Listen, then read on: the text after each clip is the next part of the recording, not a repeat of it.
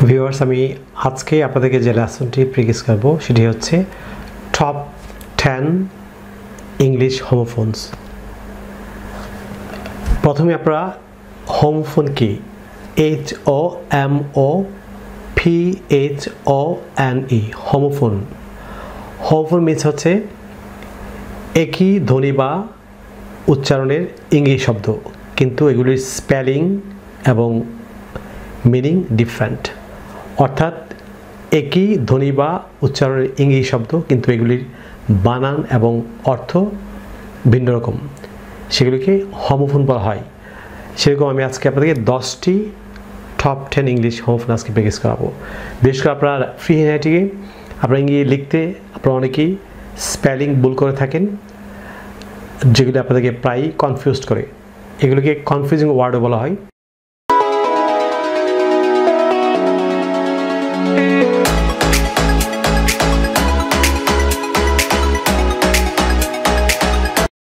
লক্ষ্য করুন, প্রথম যে দুটি হোমফোস আছে, সেগুলি হচ্ছে, প্রথমটি হচ্ছে এলিজিবল লক্ষ্য করুন E L I G I B L E eligible দ্বিতীয় যে ওয়ার্ডটি, সেটি হচ্ছে illegible I double L E G I B L E illegible উচ্চারণ প্রায় all the same but spelling দুটি ডিফারেন্ট স্পেলিং ভিন্ন।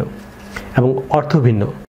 প্রথম যে ওয়ার্ডটি, যেমন E L I G I B L E eligible এই ওয়ার্ডটি হচ্ছে অ্যাজেক্টিভ এটি বাংলা মিনিং হচ্ছে যোগ্য। আপনি যোগ্য, অর্থাৎ এলিজেবল শব্দটি দিয়ে হাজার হাজার ইংরেজি সেন্টেন্স তৈরি করতে পারবেন। যেমন, সে এই পদটির জন্য যোগ্য। He is eligible for this post আমি এই পদটির জন্য যোগ্য। I am eligible for this post তুমি এই পদটির জন্য যোগ্য নও। You are not eligible for this post তারা এই পদের জন্য যোগ্য নয়। They are not eligible for this post আপনি আপনার মতো করে অসংখ্য অসংখ্য বাক্য তৈরি করতে পারবেন। দ্বিতীয় যে ওয়ার্ডটি, সেটি illegible I double L E G I B L E illegible এটিও all the same adjective but লক্ষ্য যে এটির স্পেলিং ডিফারেন্ট স্পেলিং ভিন্ন এবং এটির অর্থ ভিন্ন। এই এলিজিবল ওয়ার্ডটি বাংলা মিনে হচ্ছে অস্পষ্ট, যা আমরা সহজে দেখি না। অস্পষ্ট যেটি। যেমন আপনি যদি এটি দিয়ে একটি বাক্য তৈরি করেন মিনিংফুল একটি ইংলিশ সেন্টেন্স তৈরি করেন, যেমন, তোমার স্বাক্ষর অস্পষ্ট। ইউ সিগনেচার ইজ এলিজিবল তোমার স্বাক্ষর অস্পষ্ট। যেমন, তার স্বাক্ষর অস্পষ্ট। হিজ সিগনেচার ইজ এলিজিবল যেমন, তোমার লেখা অস্পষ্ট। ইউর রাইটিং ইজ এলিজেবল আপনি আপনার মতো করে আপনি এই হোমফোনগুলি ব্যবহার করার মাধ্যমে আপনি অসংখ্য অসংখ্য বাক্য তৈরি করতে পারবেন। বিশেষ করে আপনি স্পেলিং এ লেখার সময় আপনি স্পেলিংও খুব ভালোভাবে আপনি শিখতে পারবেন। পরের দুটি ওয়ার্ড ফলো করুন। C O M A coma আমরা জানি যে এই ওয়ার্ডটির বাংলা মিনিং হচ্ছে অচেতন অবস্থা। এটি noun C O M A coma পরের যে ওয়ার্ডটি C O double M A অর্থাৎ C O M M A comma, এটি হচ্ছে পাংচুয়েশন মার্ক, অর্থাৎ বিরাম চিহ্ন। আপনি সিও এম এ কোমা, এই নাউনটি যদি যদি বাক্য তৈরি করেন, আমি বাক্য বলছি যেমন the patient is in coma the patient is in coma রোগীটি অচেতন অবস্থায় আছে। যেমন, সে গতকাল অচেতন অবস্থায় ছিল।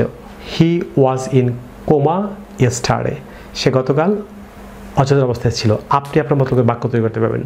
পরের যে ওয়ার্ডটি C O M M A অর্থাৎ C O double M A comma এটি পাংচুয়েশন মার্ক বাংলায় যেটিকে বিরাম চিহ্ন বলা হয়। আপনি যদি এটিতে বাক্য তৈরি করেন, আমি একটি বাক্য বলছি, যেমন ফুট এ কমা হিয়া ফুট এ ক্ষমা হিয়া পরের দুটি ওয়ার্ড ফলো করুন। প্রথমটি হচ্ছে L U N C H lunch L U N C H lunch এটি ভুল ব্যবহৃত ওয়ার্ড এটি হচ্ছে নাউন আমরা জানি যে এটি বাংলা মিনিং হচ্ছে দুপুরের খাবার। L U N C H lunch এটি হচ্ছে দুপুরের খাবার। আমি বাক্য বলছি যেমন I usually have my lunch at two PM M আমি সচরাচর দুপুর দুইটায় আমার দুপুরের খাবার খাই। অথবা he takes he takes his lunch at two PM M সে দুপুর দুইটায় দুপুরের খাবার খায়। আপনি পরে যে ওয়ার্ডটি L A U N C H L A U N C H launch এটি ভার্ব এটি বাংলা মিনিং হচ্ছে পানিতে ভাসানো বা চালু করা, কোনো কিছু চালু করা বা পানিতে ভাসানো হচ্ছে লাঞ্চ যেমন, আমি এটি বাক্য বলছি the ship will be launched next month the ship will be launched next month অর্থাৎ পরের মাসে জাহাজটি চালু করা হবে বা পানিতে ভাসানো হবে। সো আপনি মনে রাখবেন যে এল ইউএন সিএইচ লাঞ্চ হচ্ছে দুপুরের খাবার। L A U N C H launch হচ্ছে, চালু করা বা কোনো কিছু পানিতে ভাসানো হচ্ছে লাঞ্চ এটি ভার। পরের দুটি ইন্টারেস্টিং ওয়ার্ড ফলো করুন। প্রথম ওয়ার্ডটি হচ্ছে M O R A L moral এটি অ্যাজেক্টিভ এটি বাংলা মিনিং হচ্ছে নৈতিক। দ্বিতীয় যে ওয়ার্ডটি, এম ও আর এ ই, মোরাল। এটি হচ্ছে সাহস বা মনের জোর বা মনোবল। আমি প্রথম যে ওয়ার্ডটি, M O R A L, moral, নৈতিক যে বাক্য তৈরি করেন, আমি একটি বাক্য বলছি যেমন his moral character is not good his moral character is not good তার নৈতিক চরিত্র ভালো নয়। আপনি বলেন যে my moral character is good আমার নৈতিক চরিত্র ভালো। আপনি পরে যে ওয়ার্ডটি এম ও আর এ এলি মোরাল মনের জোর বা মনোবল বা সাহস। আপনি এটি যদি বাক্য তৈরি করেন একটি সেন্টেন্স বলছি যেমন he has lost his morale সে তার মনের জোর হারিয়েছে। অথবা the man has lost his morale লোকটি তার মনোবল বা মনের জোর হারিয়েছে। পরের দুটি ইন্টারেস্টিং ওয়ার্ড ফলো করুন।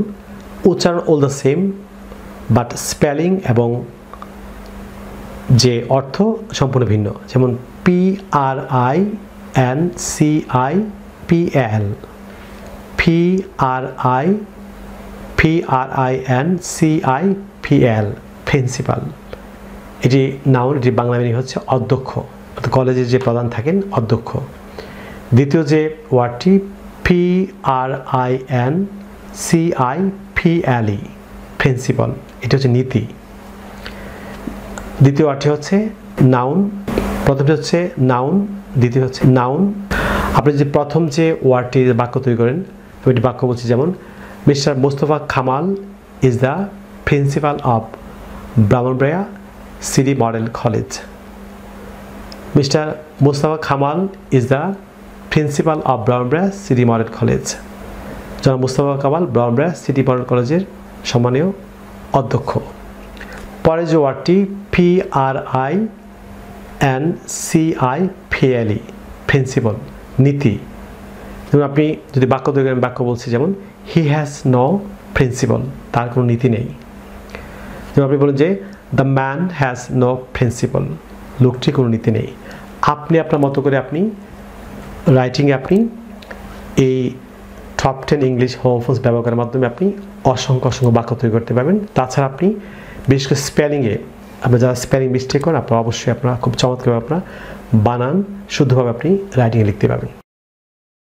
ভিউয়ার্স আমি আজকে আপনাদেরকে যে লেসনটি প্র্যাকটিস করেছি, সেটি হচ্ছে আমার লেখা an adviser of communicative English grammar language বের ছয়শো চুয়াল্লিশ থেকে ছয়শো আটচল্লিশ পৃষ্ঠা থেকে আপনাদেরকে আজকে প্র্যাকটিস করেছি। আপনারা যদি ইংরেজি ভাষার প্রত্যেকটি স্কিলে দক্ষ হচ্ছেন for example English grammar listening speaking reading writing এবং ভোকাবল দক্ষ হচ্ছেন তাহলে আপনার আমার লেখা ছয়শো ছিয়াত্তর পৃষ্ঠার an adviser of communicative English grammar language বইটি ফলো করতে পারেন। বাংলাদেশি পাঠকরা যদি বইটি আমাদের সংগ্রহ করছেন তাহলে আপনারা চাইলে আমাদের বিকেশ নাম্বার লিখে রাখতে পারেন। আমাদের বিকেশ নাম্বার হচ্ছে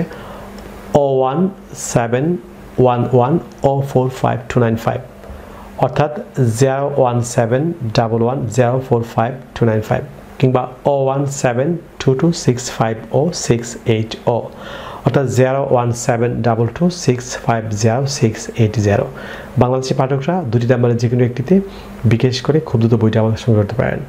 ভারতের পাঠকরা যদি ভারতের পশ্চিমবঙ্গের মালদায় অবস্থিত তাহিদ এডুকেশন সোসাইটি থেকে বইটি সংগ্রহ করছেন তাহলে আপনারা পশ্চিমবঙ্গের মালদায় অবস্থিত তাহিদ এডুকেশন সোসাইটির সেলফ নাম্বার লিখে রাখতে পারেন নাম্বারটি হচ্ছে nine seven double three one nine six zero one zero.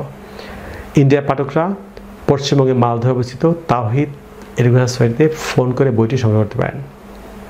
সুপ্রিয় শিক্ষার্থী মধ্যে আরেকটা বিষয়, আপনারা যদি সোশ্যাল মিডিয়া অর্থাৎ ফেসবুকে আমার সঙ্গে যুক্ত হতে চান, তাহলে ইউটিউবে যে আমার চ্যানেলটি আছে লার্ন ইংলিশের সিমোসা শিমোসা অল দ্য সেম নামে ফেসবুকে আমার একটি পেজ এবং গ্রুপ আছে, আপনারা খুব দ্রুত পেজ এবং গ্রুপে যুক্ত হতে পারেন।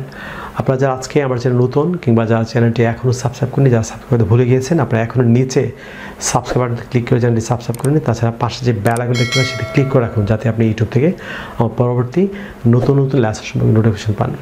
সুপ্রিয় শিক্ষার্থী বন্ধুরা, পরবর্তী লেসনে আপনাদের সঙ্গে আবারও দেখা হচ্ছে। আপনাদের জন্য অফরন্ত শুভকামনা। আপনার সবাই ভালো থাকুন, অনেক ভালো। So no more today I will see you other video care bye bye